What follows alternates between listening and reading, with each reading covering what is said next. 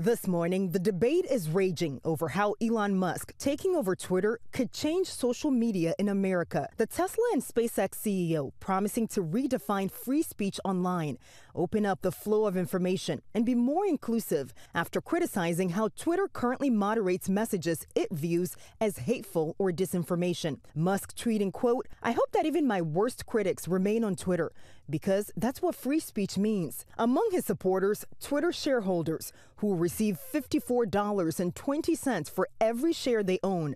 That's nearly 40% more than what the stock was worth earlier this month. For a lot of shareholders, this is kind of a, a, a quick win. Uh, it's a very nice quick win. Simple. Musk hasn't said whether he'll allow banned users like former President Trump back on the site. But Trump says even if he's reinstated, he'll be staying off Twitter in favor of his own platform, Truth Social. Even without Trump, many conservatives are praising the deal. Senator Ted Cruz posting this poll asking Is Elon Musk's purchase of Twitter a good thing? The two answers available Yes, and no, I hate free speech. One of Twitter's founders and its former CEO, Jack Dorsey, writing, quote, it has been owned by Wall Street and the ad model. Taking it back from Wall Street is the correct first step.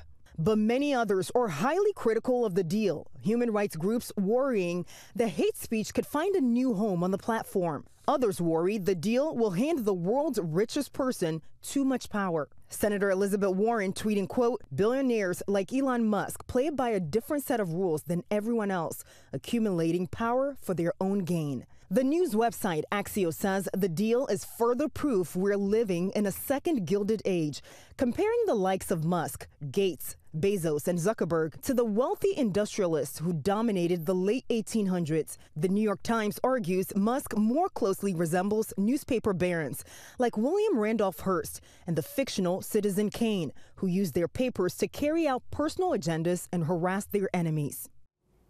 And Mona, to build trust, Musk is promising to make Twitter's algorithm public, uh, disclosing how Twitter messages are displayed. The deal, though, is expected to close later on this year. Hi, everyone. George Stephanopoulos here. Thanks for checking out the ABC News YouTube channel. If you'd like to get more videos, show highlights, and watch live event coverage, click on the right over here to subscribe to our channel. And don't forget to download the ABC News app for breaking news alerts. Thanks for watching.